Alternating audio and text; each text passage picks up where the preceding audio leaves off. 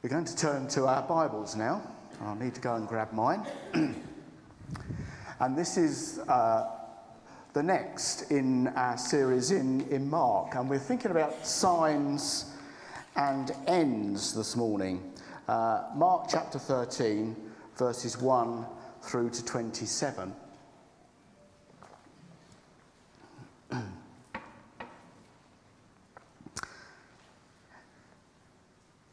As Jesus was leaving the temple, one of his disciples said to him, Look, teacher, what massive stones, what magnificent buildings. Do you see all these great buildings? replied Jesus. Not one stone here will be left on another. Everyone will be thrown down. As Jesus was sitting on the Mount of Olives opposite the temple, Peter, James, John, and Andrew asked him privately, Tell us, when will these things happen? And what will be the sign that they are about to be fulfilled? Jesus said to them, Watch out that no one deceives you. Many will come in my name, claiming, I am he, and will deceive many. When you hear of wars and rumours of wars, do not be alarmed. Such things must happen, but the end is still to come. Nation will rise against nation, and kingdom against kingdom. There will be earthquakes in various places and famines. These are the beginning of birth pains. You must be on your guard. You will be handed over to the local councils and flogged in the synagogues. On account of me, you will stand before governors and kings as witnesses to them. And the gospel must first be preached to all nations. Whenever you're arrested and brought to trial, do not worry beforehand about what to say. Just say whatever is given to you at the time, for it is not you speaking, but the Holy Spirit. Brother will betray brother to death, and a father his child. Children will rebel against their parents and have them put to death. Everyone will hate you because of me, but the one who stands firm to the end will be saved. When you see the abomination that causes desolation standing where it does not belong, let the reader understand.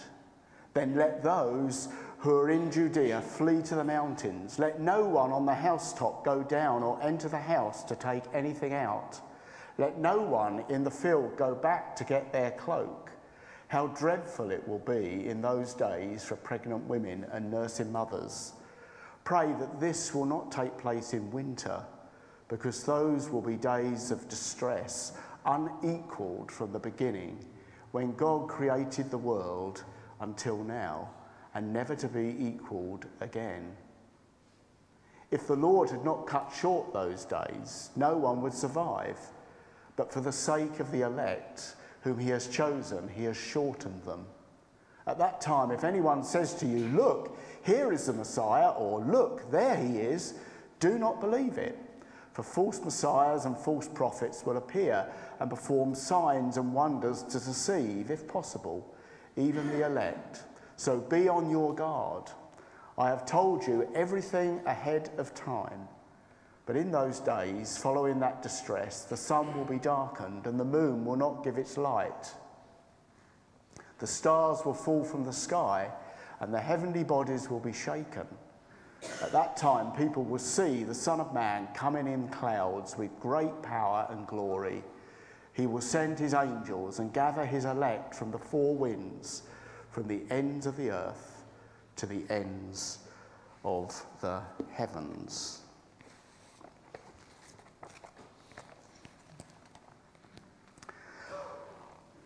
On the 3rd of February 1931, it began as a quiet Tuesday morning in the beautiful coastal region of Hawke's Bay, New Zealand. The residents of Napier and Hastings, the two main towns in that area, went about their business as they'd done for decades. Customers were keeping their banks busy, shops were filled with merchandise and eager buyers, restaurants were clearing away the breakfast dishes and preparing for the lunch crowd. Those on holiday made plans to go to the beach. In other words, life was going on as it always had been and probably always would as the sun rose over these idyllic villages. And then at 10:46, in the morning, everything changed. An earthquake struck. In less than three minutes, seismic forces reaching 7.9 on the Richter scale destroyed most of the buildings in both towns, killing hundreds of people. And those structures that weren't flattened by the quake were destroyed in the subsequent fire that swept through um, the ruins. And once the smoke and dust had cleared, the residents of Napier and Hastings were, one, were met with a great surprise. The shattered landscape bore little resemblance to the terrain they had known so well. Landmarks such as Napier Bluff Hill, a popular tourist attraction, had been torn from the coast and tossed into the sea. What had once been flat ground was now a series of hills. Where there had been valleys, there was now level ground. Most shocking of all was that the water that had been in Ahuriri Lagoon had somehow been swallowed up, leaving 9,000 acres of dry ground. And when the residents of Hawke's Bay set about rebuilding their town, they faced a dilemma the extent to which the earthquake had changed their environment was astonishing. Um, their maps of the region no longer applied. Those maps showed roads running along land that no longer existed, and they did not know, did not show the new land that was heaved up by the earthquake. Everything had changed for these people during that event. Life would never, ever be the same again. Things did change. There's a picture of what it looks like now. And they rebuilt the city, but everything changed. Uh, when we look at Mark chapter 13, Jesus is describing some catastrophic events that would change the course not only of people's lives, and particularly of the lives of his followers, but also of history. Uh, nothing would ever be the same again. This is a challenging passage for a number of reasons, and I'll just outline those briefly here. First of all, it deals with difficult things, doesn't it? It deals with cataclysmic events. It's in the language that Jesus uses. Not one stone will be left on another, one phrase. Wars and rumours of wars, earthquakes, famines, birth pains. Then we have that very mysterious phrase, the abomination that causes desolation. What on earth is Jesus talking about there? And then there's some prophetic language. The sun will be darkened, the moon will not give its light. So it deals with difficult things. It's a challenging passage. It's a challenging passage because those of you who have perhaps studied the end times and perhaps this teaching of Jesus will know that it's a subject of much debate. What on earth is Jesus referring to here? Um, if you read commentaries on this, there will be some who say that this wholly relates to the fall of Jerusalem and the events in AD 70. There are others who say that this wholly relates to Jesus' second advent, his second coming, his coming again. There are those who will split the passage up and say that this relates partly to the fall of Jerusalem. Jesus was talking about that. The remainder to Jesus' second coming, and they will split it at verse 19. There are others who focus mainly on the destruction of Jerusalem in AD 70, and then just those verses 24 to 27 as referring to future things that would happen beyond that event and the coming again of Jesus. So, what are we talking about here? What is Jesus talking about? And it's also a challenging passage because Jesus calls his disciples to live and act distinctively for him in the midst of all of this going on, all of these catastrophic events going on. We've got to keep a clear head in the midst of it. So it's a challenge, isn't it, for those who are going to follow him. I'm going to pick one of those four that were on that earlier um, slide and say that I think the majority of what's being talked about here is that time that Jesus was looking forward to in AD 70 and the destruction of Jerusalem. But I do think that within that, Jesus is pointing forward to other events that would happen beyond that, most notably the fact when he comes again. And we'll focus a little bit on that when we look at verses 24 to 27. So let's spend a short time examining Jesus' teaching on this passage, and in particular, the three important responses that Jesus is asking um, of his disciples, and we'll apply them to ourselves um, at the end. So, first of all, let's set the scene. Jesus and his disciples are looking, overlooking this magnificent temple, one of the most beautiful buildings and most magnificent structures in the world at that time. Herod's temple at Jesus' time was still incomplete. It took over 30 years to build, and it was the thing that the Jewish people admired hugely as they looked at it. And Jesus' disciples were not the only ones, were they? they? They looked at those buildings and thought, what magnificent buildings. This is a sign that God is with us, that God is in the midst of us. And as they were looking at these buildings, Jesus delivers these rather shocking words. It's surprising and shocking to them. All you see here, Jesus is saying to his disciples, will one day be destroyed.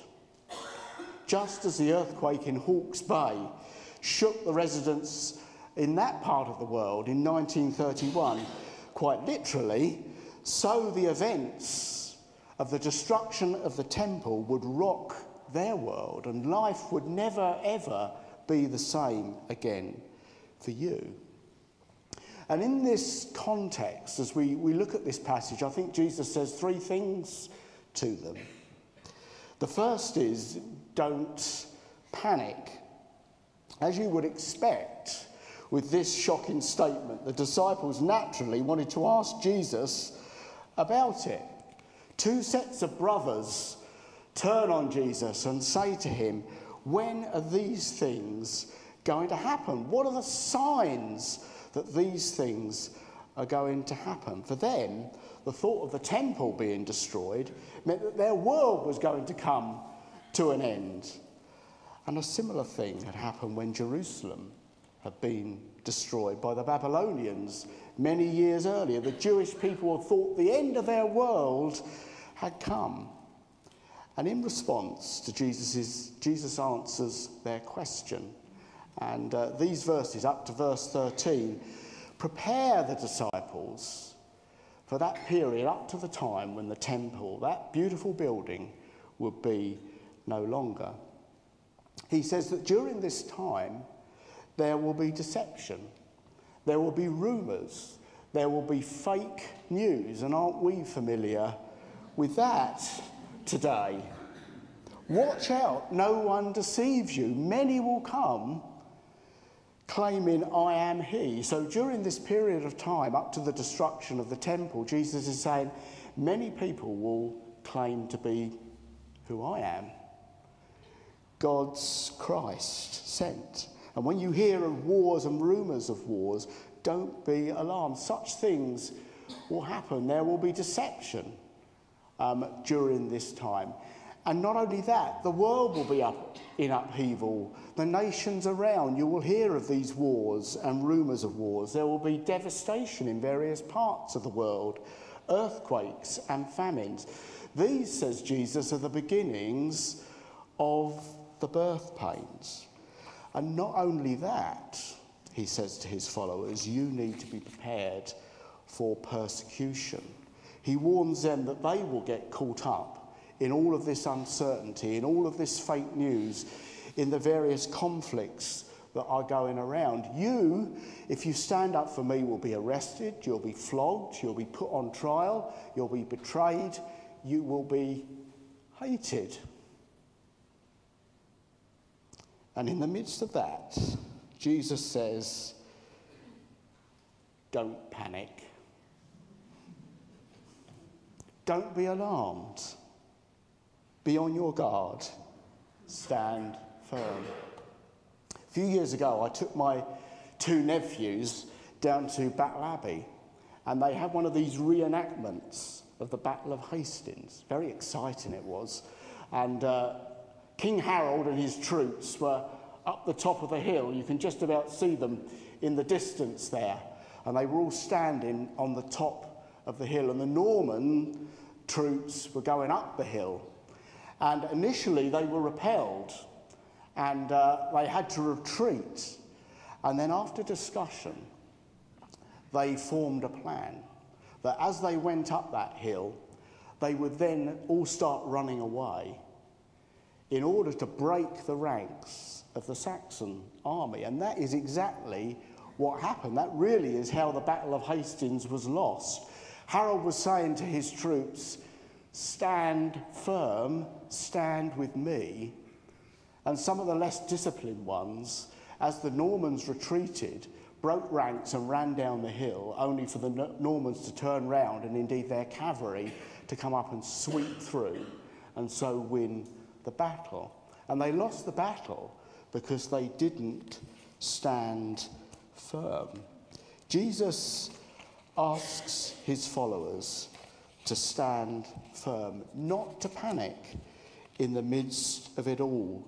All these things must take place before the catastrophe I've told you about will happen. The second thing, and we'll look at this in verses 14 to 23, is that Jesus tells his disciples that when these things, this destruction of the temple in AD 70 happens, you are to think clearly and act wisely. And Jesus talks about this event um, as being marked by a distinctive sign. The mood changes from preparation to the actual thing happening now. And we got this phrase, the abomination that causes desolation. There's a sign here, Jesus is saying. You'll know when these things happen because this will take place at the very place where the worship of God takes place. And Mark is keen to point this out. He says, Let the reader understand. So take note of this. This is really important what Jesus is saying here. What is this abomination? Um, there are clear parallels with the prophet Daniel. In fact, quite a lot of Jesus' teaching here you will find echoed um, in the prophecy of Daniel. And Daniel is warning of an appalling object or person whose presence signifies destruction. In Daniel's case, it referred to invading pagan armies coming into Jerusalem and stopping temple worship setting up an image or an idol in the very place where the one true God was worshipped. And that was certainly true of the events in AD 70 when Jerusalem was destroyed, the temple burnt, and it was desecrated. Not only would there be a distinctive sign, but it would be a desperate time. When that happened, Jesus' instruction to his followers was not that they stand firm but that they run without looking back and that they flee. And certainly the historical accounts from that time reflect just how bad those times were.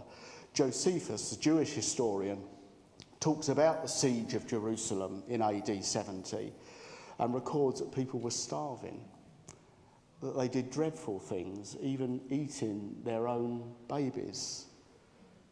They fought for scraps of food.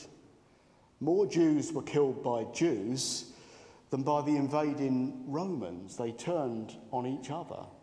Dark and desperate times. And it was also a time, while all this was happening, where false messiahs came even more to prominence, promising a way of escape and promising a way out. Not only that, Rome was in turmoil at that time too. At its climax in AD 69, the year before these events, four Roman emperors came and went Nero, Otho, Vitellius, and Vespasian. Each one of them, um, each one of those men were surrounded by violence and murder.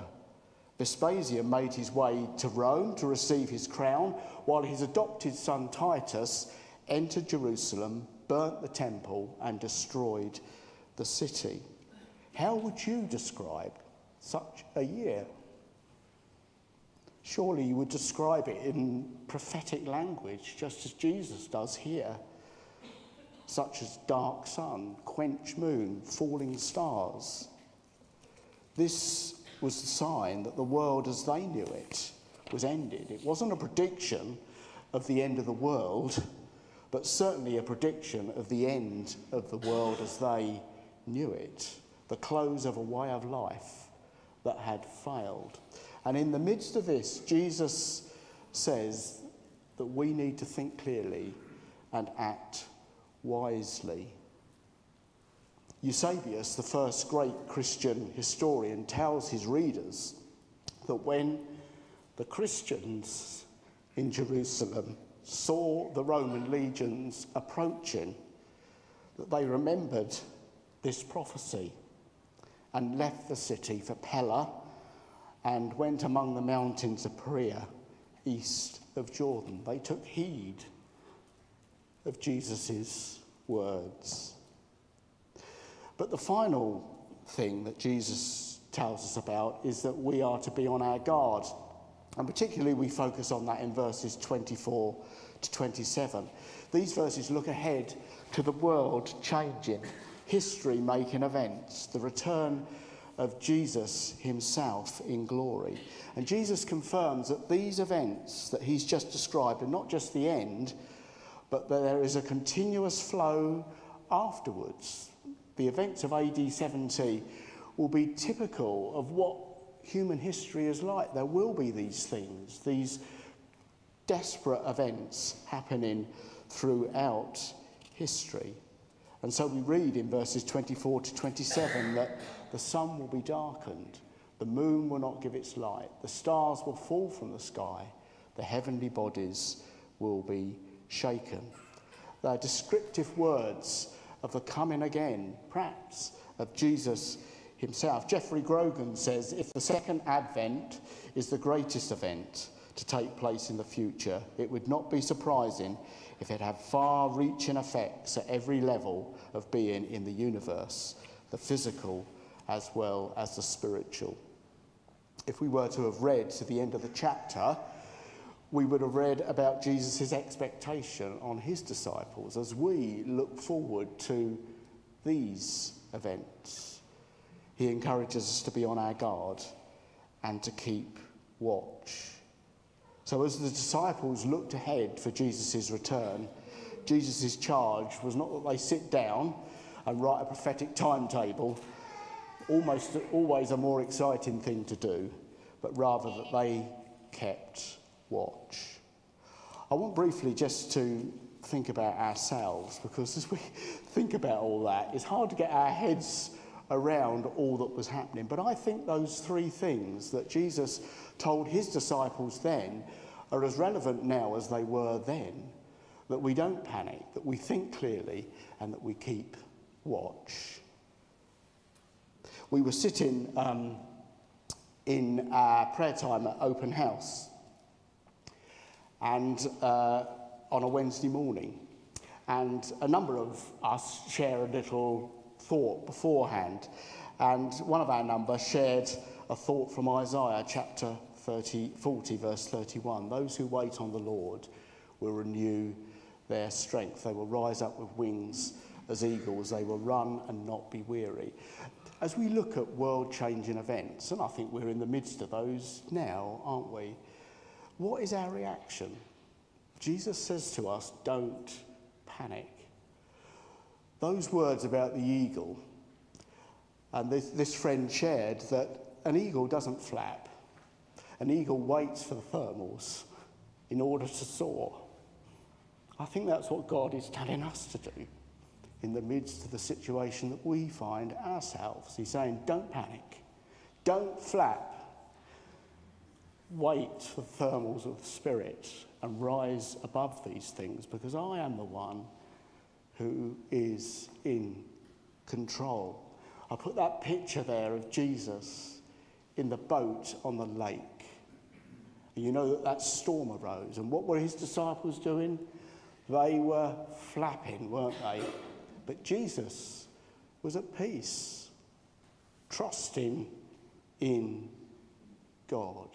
Trusting in God. And God encourages us not to panic, but to trust in Him and to put our hope in Him. Don't panic, trust in God. Stand firm on those things that are important and core to our faith. Stand firm on the truth of Father, Son, and Holy Spirit. Stand firm on the truth of a God who loves us deeply. Stand firm on the truth of a God who loves so much that he sent Jesus to save us. Stand firm on the truth and the power and the guiding of the Holy Spirit. Stand firm on his truth and his good purposes for his church, though weak and flawed. Stand firm on the authority and sufficiency of Scripture. Stand firm on the truth that one day Jesus will come back and bring in the new heaven and the new earth. It all sounds rather simplistic, but Jesus is asking us not to panic, but to trust God. The second thing is that we are to think clearly and act wisely. There's a time for standing firm, and there's a time for fleeing. What we need are people who trust in a God who, in the midst of the chaos that's going on around us, show restraint and respond with clear heads to all that is going on around us. I put a picture of paramedics up there because in the midst of a crisis, they're the sort of people that you want around, aren't they? You don't want people who are going to be flapping around. You want people who've got clear heads and clear thinking in all of this. And this is what God is calling for us to do. We need to keep level headed we need to acknowledge the importance that as Christians, God has called us to live distinctively for Him. We need to acknowledge the importance of praising the good but distancing ourselves from the profane.